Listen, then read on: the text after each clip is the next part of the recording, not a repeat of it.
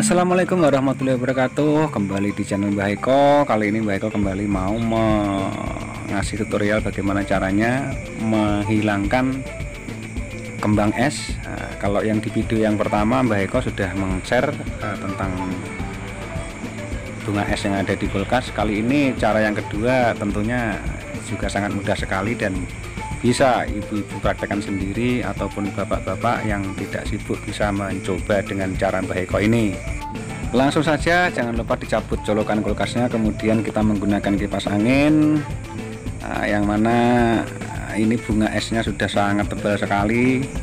Nah, kita nyalakan kipas angin untuk beberapa saat. Ini adalah untuk mempermudah proses pencairan bunga es tentunya kita sambil menunggu beberapa saat nah, kita bisa untuk menghandle pekerjaan yang lain. Barangkali untuk ibu-ibu bisa sambil bermasak bisa sambil nyuci bisa sambil menyapu dan lain sebagainya.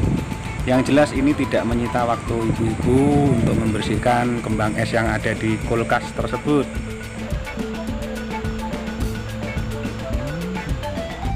Ini untuk lima menit pertama sudah kelihatan sekali ya proses pencairannya nampak itu ada titik-titik air nah, sudah makin menipis tentunya kalau Mbak Eko yang pertama kita share menggunakan selang air ya. Kali ini yang kedua Mbak Eko menggunakan kipas angin.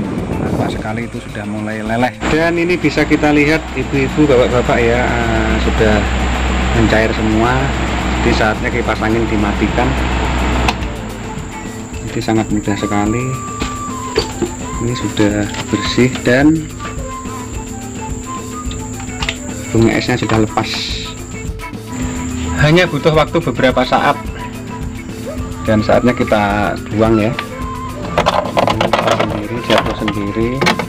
Yang lontok sendiri dan yang atas sudah bersih. Bersih kembali. Untuk airnya bisa langsung kita buang ke ember ya. Kita bawa ember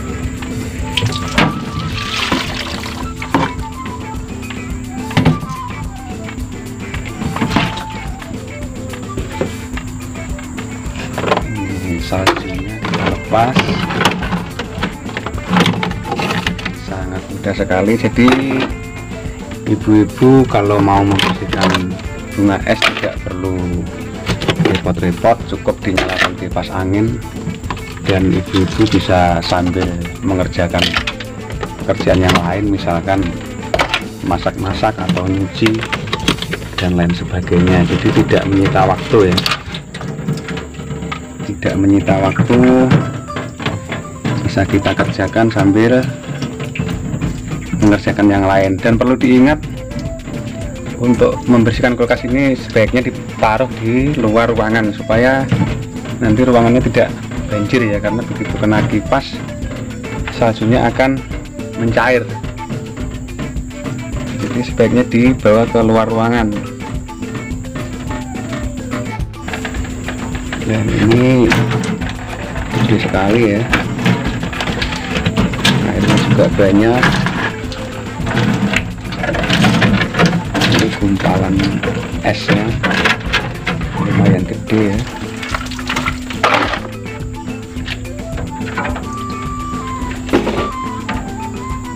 Jadi ini airnya sangat banyak sekali. Oke langsung baik kau buang dulu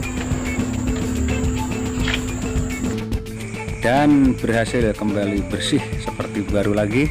Dan jangan lupa untuk teman-teman yang menyukai dengan video saya ini silahkan untuk like, komen, dan subscribe nya tentu saja kembali ketemu di tutorial berikutnya. Assalamualaikum warahmatullahi wabarakatuh